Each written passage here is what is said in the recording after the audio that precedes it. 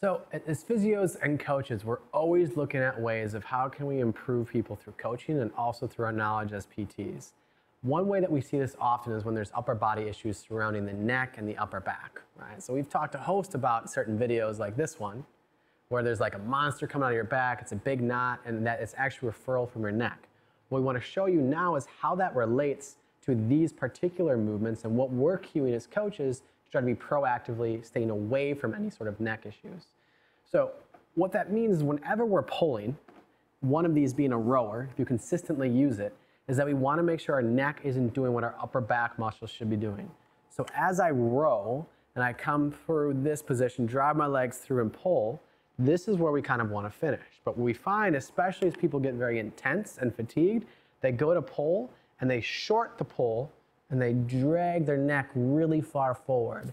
You can see my muscles jump out and my neck shaking. That's over exaggerated, but if we see that enough, we start to see people get upper back issues referred from their neck or neck related issues, tension headaches, upper trap stuff, things like that.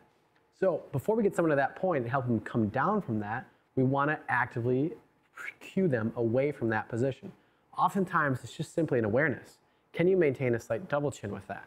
So for this, I'm trying to maintain that as I pull through and not trying to really overemphasize this position, but being aware and keeping my head back, somewhat relaxed, not super tense, but then allows me to actually pull my shoulder blades together as I do so. So from the rower, we're often seeing that compensation that can lead to those types of things. Now, if I get away from the rower and I look at potentially a body weight movement, a great example of this is with the push-up. Now, as we get better at the push-up and get lower low on the ground, we feel like we're improving, but oftentimes what we see as physio coaches is the neck getting closer to the ground. So you can see this really visually when I over exaggerate it. So as I'm down here for the push up and I go down, what happens is people will stop here, but their neck will reach down. So my body hasn't actually lowered itself anymore.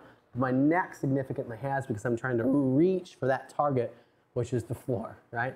So similar to the row, we see that same sort of forward head position, I can feel the muscles underneath the base of my skull, my neck, and I feel my upper traps getting tight. So in fast, as I get fatigued, I start to do this.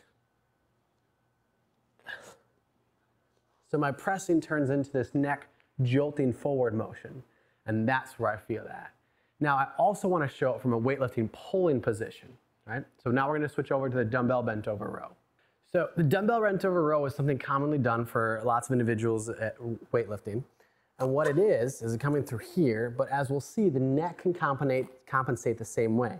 So as I pull back and row, what people do, especially if the weight's too heavy, will go like this. So their head's almost this little Pez dispenser coming forward repeatedly, right? So as I go to row, I can't fully finish that pull. So to get it forward, I use my momentum, my neck to come forward, and I yank that into that position.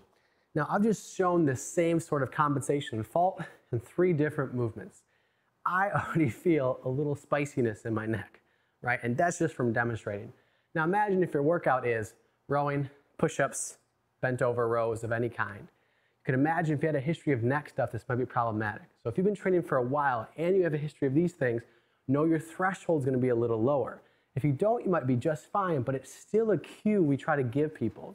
And the cue itself isn't just great for trying to be proactive, eliminating those issues, it also provides us that if we can maintain a better neutral neck position, we have more power and full range of motion for our pressing and our pushing. That in itself, from, from a performance standpoint, is worth the effort to cueing that certain neck position of a slight double chin of just pulling back or maintaining that subtle position. Now, that's all great. We can cue that, but what if somebody isn't watching you, you video yourself, and you know, am I actually getting better? What are other things that I can do as part of a warm-up or key things that I can involve in this?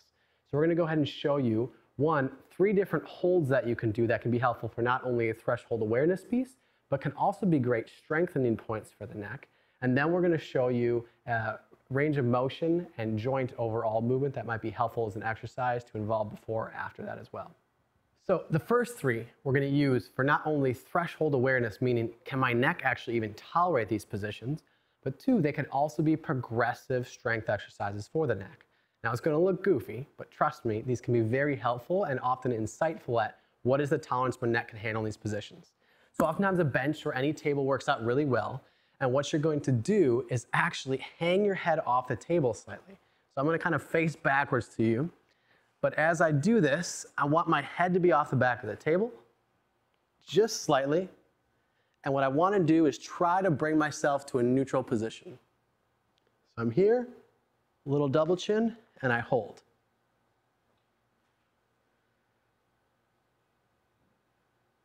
We kind of like that as a good threshold, the neck can maintain it. Where we generally want people to feel that is kind of deep within their neck here, right? Not massively in the back of their head, but their upper kind of front neck muscles being able to resist that. And we don't want to see their neck go constantly forward or continuously fall back. Now you got to imagine if we're doing that for the front, we definitely want to do it for the backside as well. So you do the same thing in terms of threshold testing of coming here, kind of straddling the bench, and then I let my head drop. I do a little double chin, and I hold this position as well. Now here, if I can maintain that sort of double chin position and a relatively neutral neck position, I should be able to hold this rather easily and maintain this spot. Again, at least 30 seconds for that, that should let you know that you're having a difficult time of that threshold awareness.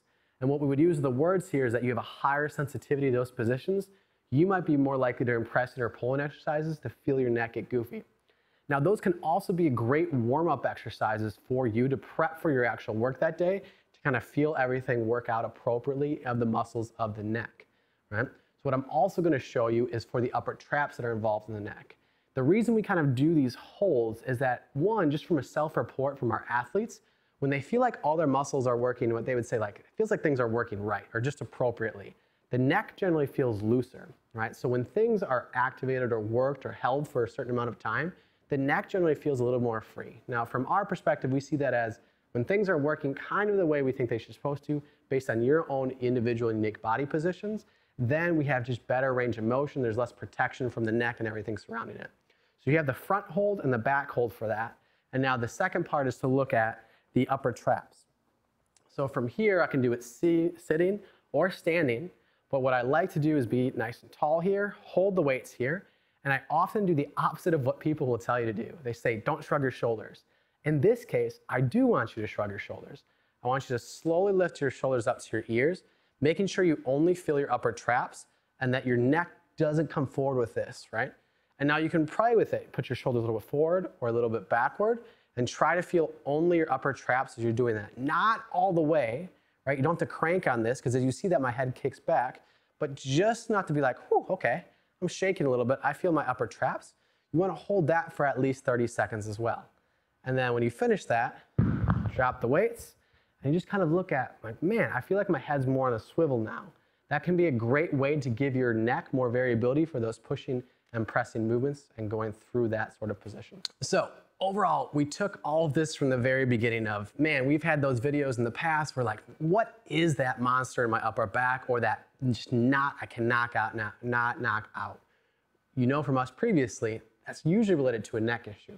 Cool. Well, if we know that's the case, how do we get there and how do we be proactive to cue away from that? Well, we look at your rowing, we look at your pulling, we look at your pressing. Is the neck being involved more than it should be in any of those?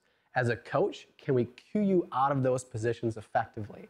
If we can, perfect. But what else can we use to maintain that strategy, especially if we know you might have a history of injury there?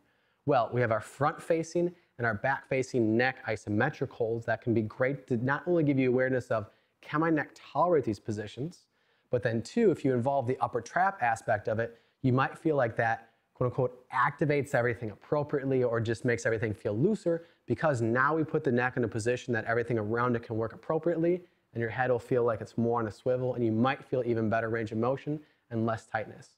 So hopefully we can get you all the way from, man, I had a bad neck issue or reaction to that, all the way to, can I be proactive with this and what could I involve with it knowing that I might have those things developing.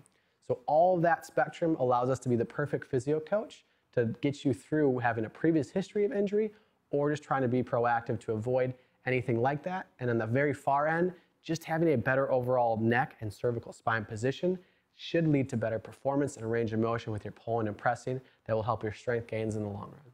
And if you haven't already, subscribe to our YouTube channel. Check us out on all our social media uh, websites, Instagram, Facebook, the works. If you want to see more high quality content like this and to any other videos regarding coaching or physical therapy issues.